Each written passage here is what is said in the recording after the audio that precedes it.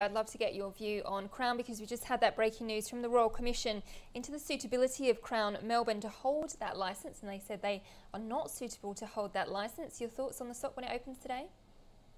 Uh, look, uh, nobody expected Crown to be shut down. It was always going to survive. Um, it's a massive employer and pays a lot of tax. So you've got to love the self-interest in these things.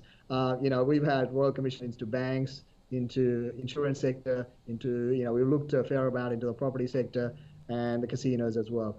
Um, you look, there are problems for sure. Have they got to fix things? Sure. Are they going to flip a few people, throw some people under the bus? For sure. But is that going to change the overall dynamics? I don't think so. These are great assets.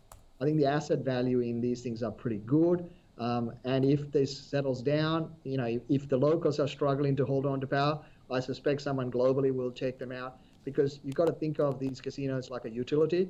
They are very good assets that earn pretty good return. Once these things get cleared, it should do well. So in this context, uh, you know, both casinos are now back in favor for me because once the dust settles, they'll do better. All right. So what if you if you're holding it, you'd continue to hold, but um, is there a buying opportunity as well?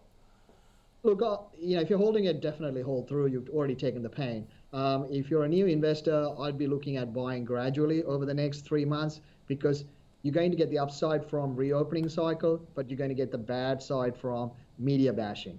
But you know, in three to six months, this will all be behind us, and potentially we'll have a certainly a changed management running it. So in that context, I would look to buy it over the next three to four months. Just buy like 20, 30% at a time every month and add to it. So if it goes up, you've got a buffer. If it goes down, you're averaging down. But in 12 months' time, you should be doing better.